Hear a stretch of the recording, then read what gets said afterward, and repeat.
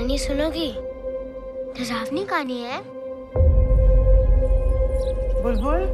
बहुत समय पहले की बात है।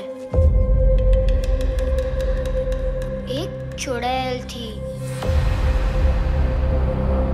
पेड़ों पे रहती थी। उल्टे पैर थे उसके।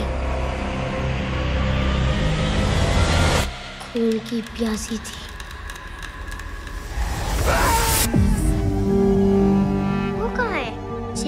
शादी हुई थी। वो तो हम हैं। नहीं वो तो मेरे जितना था।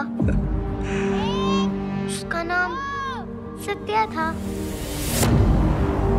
हमें नहीं करनी शादी वादी।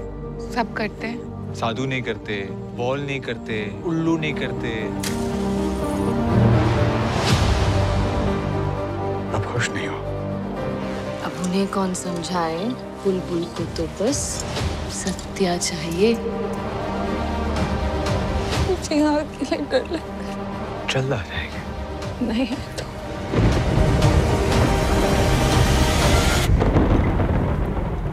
इन पाँच सालों में कितना कुछ बदल गया ना भाभी?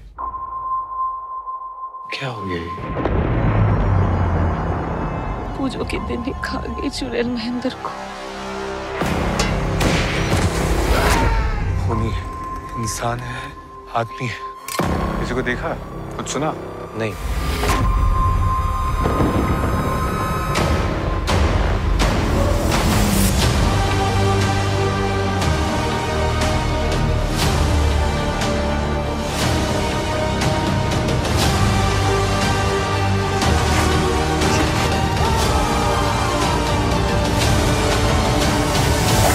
बड़ी हवेलियों में बड़े राज होते हैं।